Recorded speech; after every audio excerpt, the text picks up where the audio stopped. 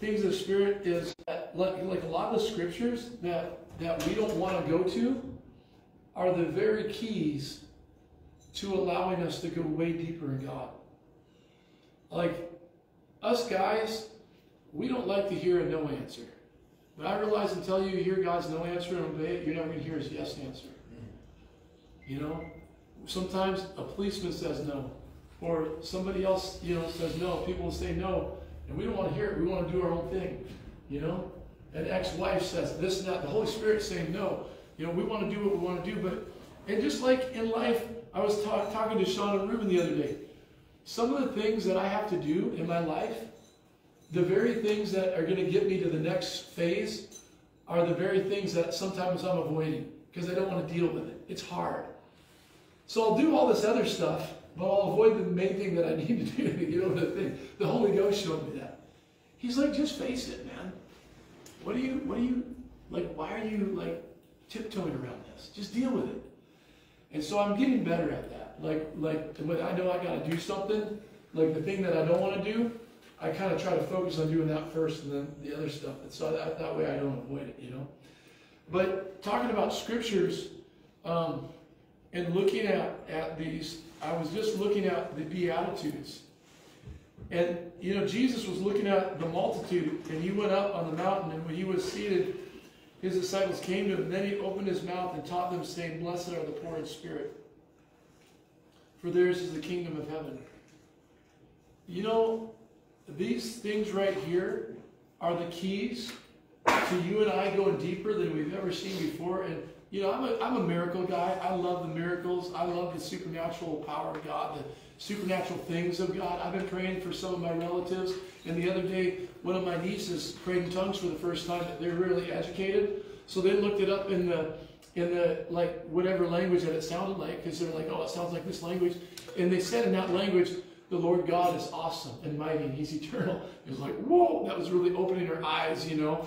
And so those things are cool, you know what I mean? When God was, you know, doing that kind of stuff. But more than anything, all that stuff, you got to be close with Christ. Because when you're chasing Jesus and you're in love with Jesus, the miracles follow you. You're not following them. That's right. Okay? But but I do like them. I enjoy it. And, and I like them because it shows the love of God to people and it exposes um, uh, the, the unbelief in people, you know? And so that's good, you know? And, uh, but, but these, this here is the key. Blessed are the poor in spirit, because when you're poor in spirit, then you're not prideful. And when you're not prideful, it says God resists the proud, but he gives grace to the humble. And when, when you're poor in spirit, you preach the gospel and you say, man, you know, Jesus loves you. And, and uh, uh, he's able to save you. You know, you, you and I as a sinner, he bled for you. He can save you. And you preach that message, and somebody that's in poor in spirit, blood, they, they, they, they say, hey, I, I know that I'm undone. I know that I'm, I'm not right. I know that I've sinned. And I want to come and I want to put on the robes of righteousness because I'm naked. I'm shameful. I'm undone. Blessed are the poor in spirit, for theirs is the kingdom of heaven. Why?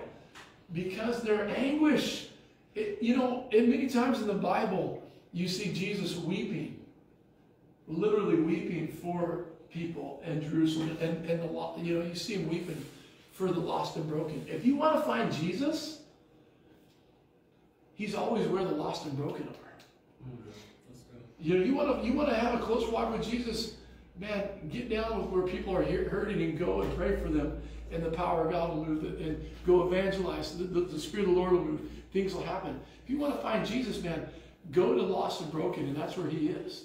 And so here when he says, Blessed are the poor in spirit, for theirs is the kingdom of heaven. Come on. When's the last time you had a belly weep from the deepest part of you, weeping for the lost and broken? Yeah. If it's been a while, ask the Lord to tune up and soften your heart. Yeah. And so these are keys to the deeper things. Now, Many people don't aren't drawn to the poor in spirit, like, hey, we all want to be poor in spirit. But that is a place where joy, it comes in the morning, where God comes and he comforts the people that are broken and of a contrite heart. He comes to the person that says, Lord God, I need you. I can't do it myself. I'm poor in spirit. And they get the kingdom. Sincerity. For theirs is the kingdom of heaven. Blessed are those who mourn, for they shall be comforted. Blessed are the meek, for they shall inherit the earth. And the meek are people that are um, are yielded to God. That's not weakness. It's Quiet strength. Blessed are those who hunger and, and thirst for righteousness, for they shall be filled. And Smith Wigglesworth preached one time, and I didn't understand this when he said it on the tape. He said the greatest thing that you could ever pray for somebody is the hunger of God. Mm-hmm. And I didn't, I didn't really catch that. I'm like, why? How mm-hmm. about your, your the triple portion of the Elijah anointing or something, you know? But he was saying that. It was just a progression.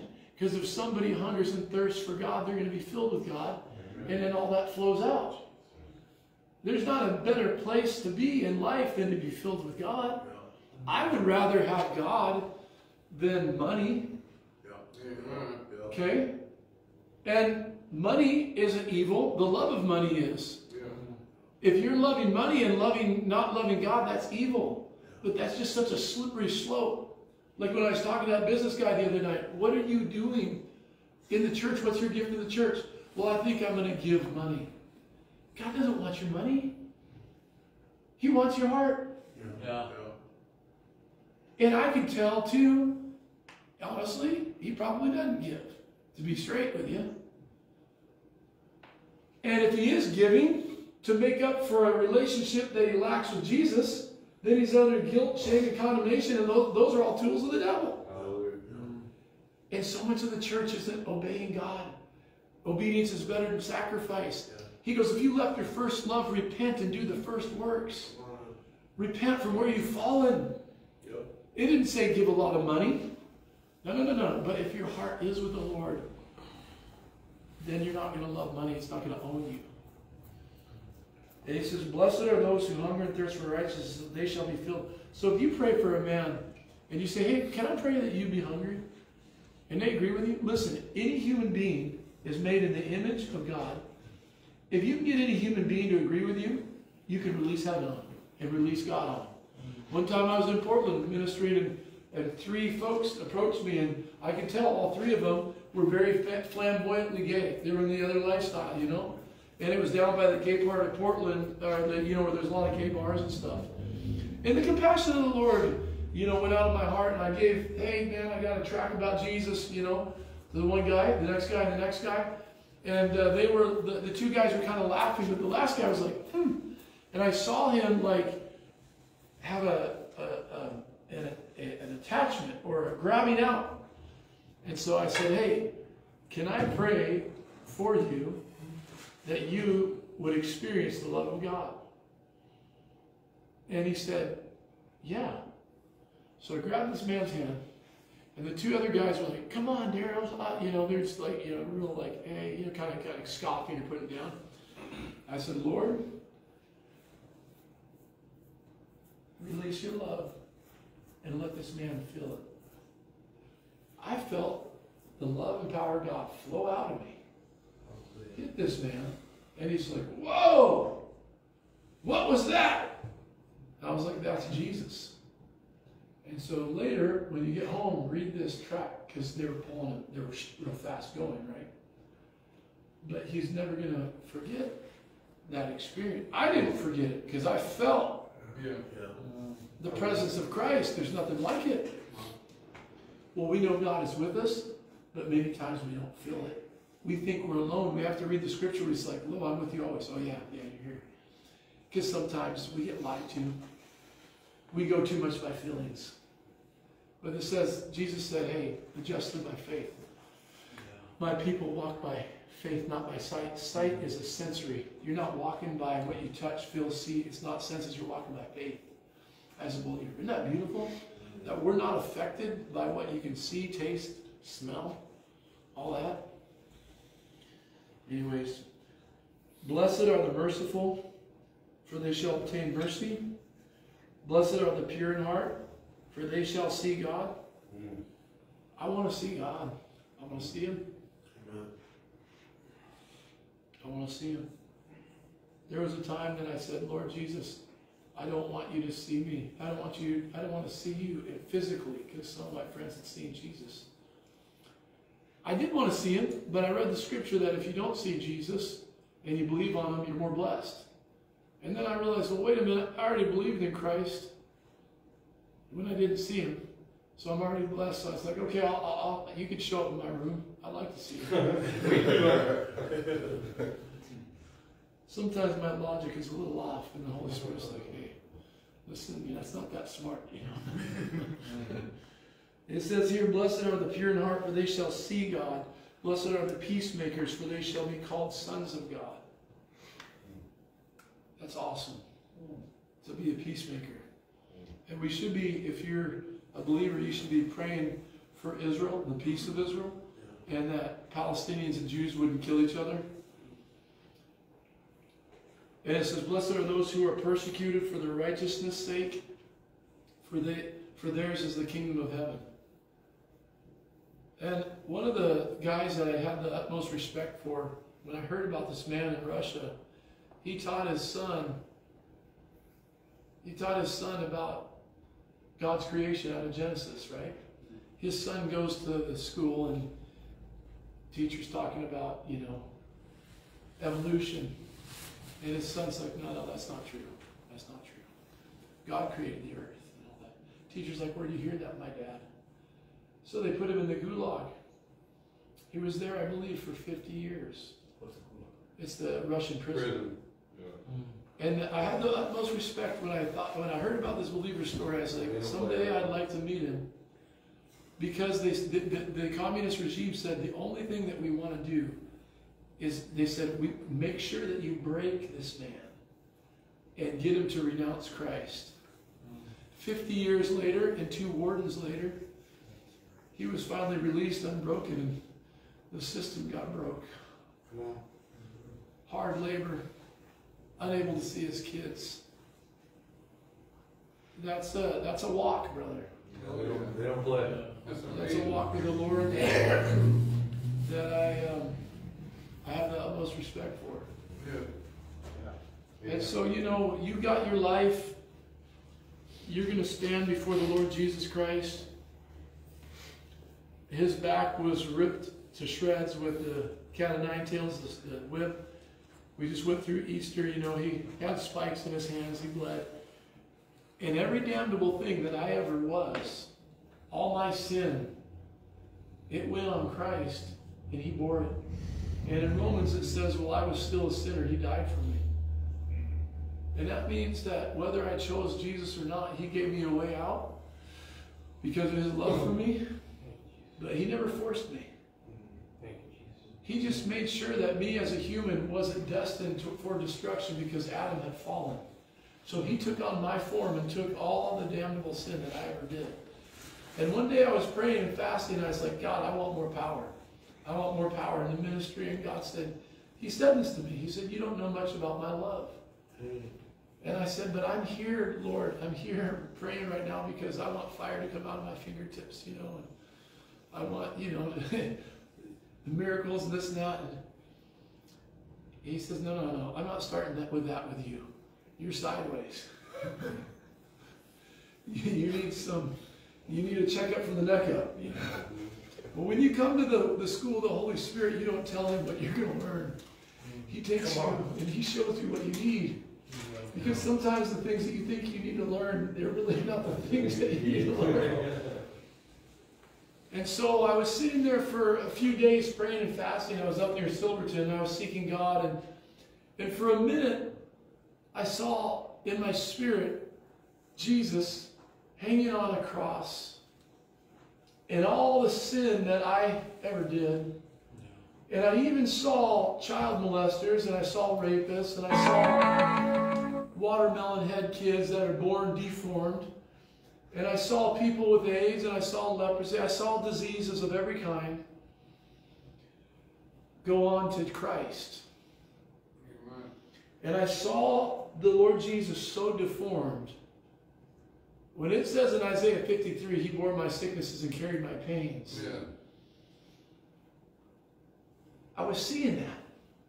And God was doing something in my heart because I didn't I did not want to see Jesus there. I love him. I'm so thankful for what he did. I don't have words, human words, to describe my thankfulness. But it was hard for me to see every damnable thing that I was hit him, deform him into such a state where you couldn't even tell he was a man. Yeah. And I looked in Isaiah there and it says his visible appearance was marred more than any man and his form more than the sons of man. So beyond the beating and all that, and Simon had to carry the cross because it, Jesus was beaten so bad they had this guy Simon carry the cross up to the top. Beyond all that, his death for me and his love for me was beyond even a physical uh, pain that I could never even imagine because I haven't even gone into that realm of pain. You know, I've, I've been hurt before. I've been, I had 25% of my body burned. I've, I've had some knocks. I'm sure you guys have too. But all that pain and then all the sin of the world, and then Jesus saying, My God, my God, why have you forsaken me? So that when I stand before Jesus on Judgment Day, when I stand before the throne, God's not going to say to me, I forsake you, because Jesus was forsaken for me so that I wouldn't have to be forsaken. And he paid every damnable price that I could ever conjure up. And some of you guys elevate people in your life. Oh, this pastor over here, he must live a great life. No, no, no, no. There's none righteous, no, not one. All have gone astray. Every one of them. The guy that I'm talking about in Russia that did 50 years, he's gone astray. Brother Yun, if you ever read his book, The Heavenly Man? He was tortured for years in China. You lift him up here, man, he's gone astray. He had a rebellious heart. And man, he sought God more than anybody. You read his book and you won't even feel saved. But it's all about Jesus. It's all about his blood. Amen. It's all about what he did, not in you or I. Our righteousness is filthy rags. But that's where the richest is, is returning to your first love. And so when I saw what Jesus did, you know, sometimes I could get pretty nasty. In fact, one day, after I was a believer, I waited outside a guy that stalked my house and took, he stole one of my sniper rifles. After I got out of the military, when I found out where he was, I went to Portland. I was stalking him. I was going to cut off one of his fingers, tie him down in a chair, and hold him until he did what's right. And. I was, I was hot. I was on the next level of an unclean, un, unclean spirit, really. And so then, the Lord shows me a vision of this guy going into hell and penetrating hell. And he was a gang member and stuff, and, and I was just so mad. I was going to take. He chased me one time down there in Portland when I called him out and stuff with a machete. We were playing chicken around my car. Hit my front windshield, slashed the hood, and this. I said, I'm going to kill him or I'm going to cut off his fingers. He's going to know that he could never do that. I was so mad about this, but I didn't want to really challenge him with a machete because he was on PCP. He was all cracked out. Okay. And me and his brothers were friends. We were friends. We come from a, a redneck town there, and we were rolling. But he hit his dad, his brother, and me. Stole our guns. I said, I'm taking, taking him out. So I'm out there. I'm, I'm planning it all out. And I would have got away with it too. I would have chopped his finger off. I'd have got all that. But God just messed me up when I seen that vision of him going to hell. It was worse than anything I could ever deal with. I called him up. I said, listen, I don't even care about the guns. Listen, I know you did it. But listen, I had a vision of you going into hell, and I want you to know that Jesus is the answer. You need to give your life to him. I forgive you. I just let it go. I had I had a wrong spirit. But if you get chased by a machete and you and you have it sometimes you got a spirit like I did where you're you know a fighter and you wrestle and you know these guys, you're like, no, no, no, they're not gonna get the upper, I'm taking them out. But the Lord isn't calling us to physically fight. Yeah. He's not calling men the, of this day to fight another man with a gun or machete or go crazy. He's fighting us to, to come against spiritual hordes of darkness that are taking whole generations out and having eight year olds do sex changes. He's calling us to get into the place of compassion and he's calling us to get into the place of, uh, of anguish to where we pray until things are moved in the spirit. And people that were going to go to hell are not going to hell because God's power goes there. He's calling us to get into the kind of love when we see the price that he paid with this for this guy that chased me with a machete. Jesus, his whole physical form was so deformed when all my sin and his sin hit him, you couldn't even tell he was a man. And if I don't forgive this guy and I come after him in this manner, I'm putting hands on somebody Jesus bled for.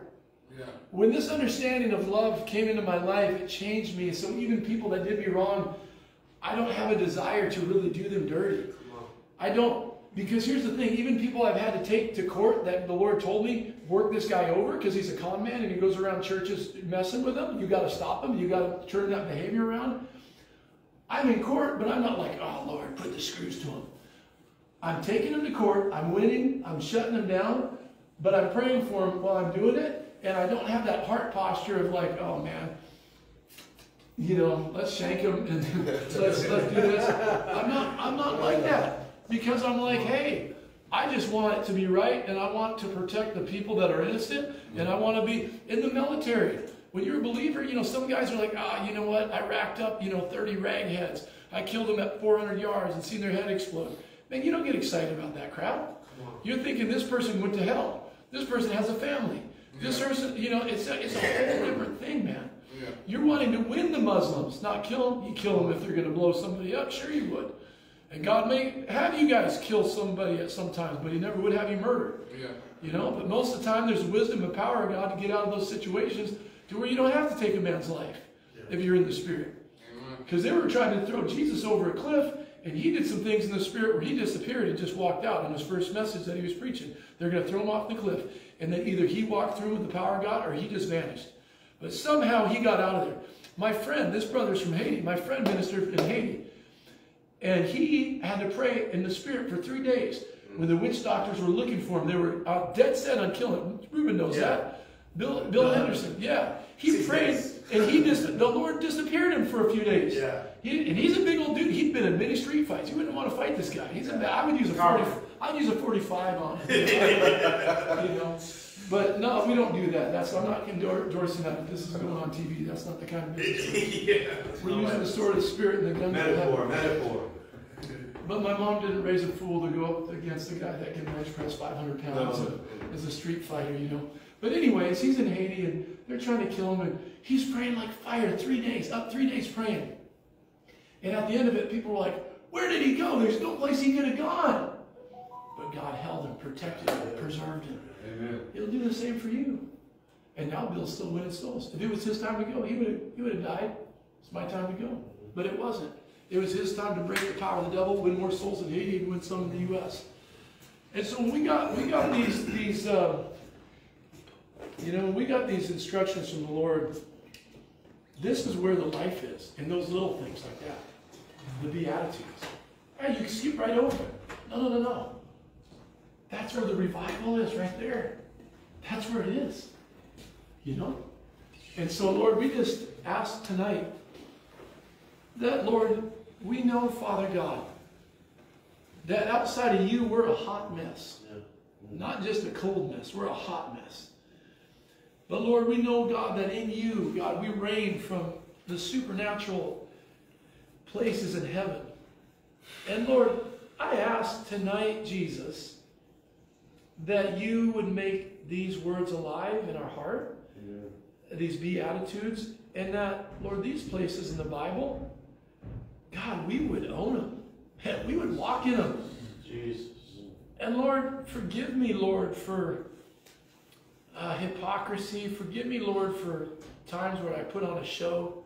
Because when I see it in other people, it makes me want to vomit. And I know that heaven vomits on that kind of stuff too. And so, Lord, I ask God that there would be a genuine walk in the church today, Lord. Not just here and in His care, but, Lord, in Clark County, in America.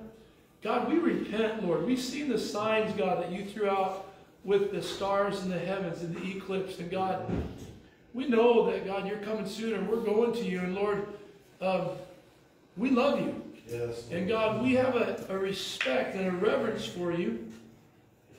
And we ask, Lord, that the words of our mouth and the meditation of our heart would be acceptable to you. We ask, God, Lord, that there be a time of repentance. We ask, God, that you would help us, Father God, walk in this place, God, that, Lord, would be a really sweet fragrance to heaven. And that, Lord, that it would touch earth and it would change things. Bend us, change us, God, that, we, that the world would be saved. Mm-hmm. Oh, God, form us into the image of Christ, God. And we call out for it, Lord. We need you. We call for you. We, Yes. we ask for your touch, Lord Jesus. And we thank you, Lord, that you're going to do it. We thank you that you're already doing it. So many of us have come a million miles. But Lord, we understand too, God, that we got a million miles to go. And so we thank you for that in Jesus' mighty name. Hey, Barry, can I share something real quick? Yeah. Guys. So, hey, guys, real quick, uh, I just want to share. You guys know about Randall the cook. He's been texting me still nonstop about the Lord and